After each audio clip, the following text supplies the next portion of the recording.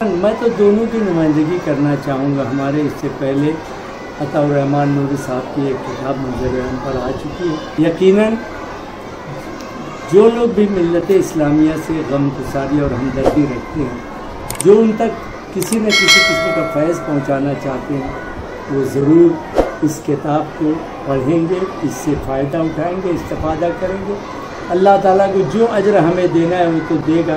لیکن ہم اس کا ایک ہی مقصد ہے کہ مستقبل میں اگر کوئی مصیبت ہمارے اوپر نازل ہونے والی ہے مستقبل میں اگر ہم سے کسی قسم کی زبردستی کی جانے والی ہے تو اس کے لیے ہم لوگ پیشگی طور پر تیار رہیں اور اس کا دفاع کر سکیں اور اسے کامیابی، کامیاب نہ ہونے دیں، یہ ہماری کوشش ہے۔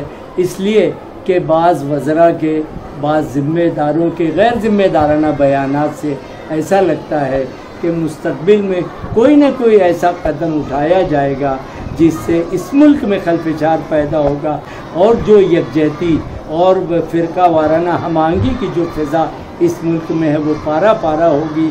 اسی نقطۂ نظر سے ہم لوگ یہ چاہتے ہیں کہ ملک کو ہم ٹکڑے نہ ہونے دیں اور ہر شخص کو اپنی شہریت ثابت کرنے کا موقع ملے۔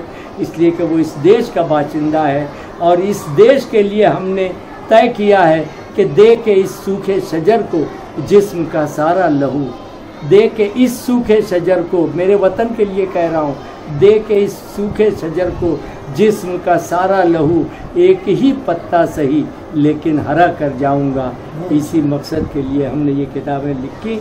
آپ اس کی پذیرائی کیجیے، اس سے استفادہ کیجیے۔ یہی آپ سے گزارش ہے۔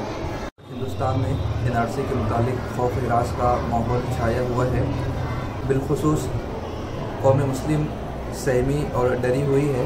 اسی خوف اور ہراس کو کم کرنے کے لیے نوری اکیڈمی نے این آر سی اندیشے مسائل اور حل نامی کتاب شائع کی ہے اور آج ہمارے شہر کے سرپرست ڈاکٹر الیاس وسیم صدیقی صاحب کی ایک اہم کتاب این آر سی گائیڈ کے نام سے منظر عام پر آئی ہے۔